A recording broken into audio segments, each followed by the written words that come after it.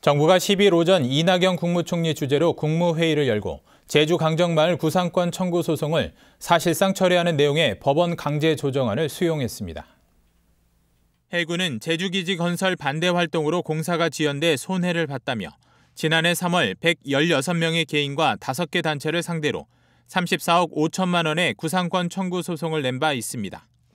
이에 재판부는 원고가 소를 취하하고 이후 상호 간 일체의 민형사상 청구를 제기하지 않는다는 내용의 강제조정 결정문을 지난달 30일 정부로 송달했습니다.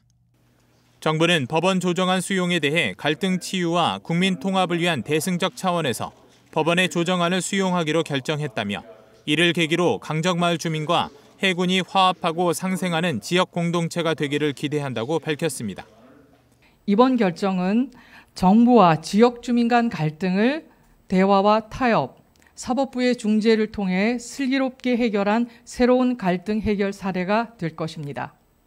문재인 대통령은 앞서 대선 당시 강정마을에 대한 해군의 구상금 청구 소송을 철회하고 사법 처리 대상자를 사면하겠다고 공약한 바 있습니다.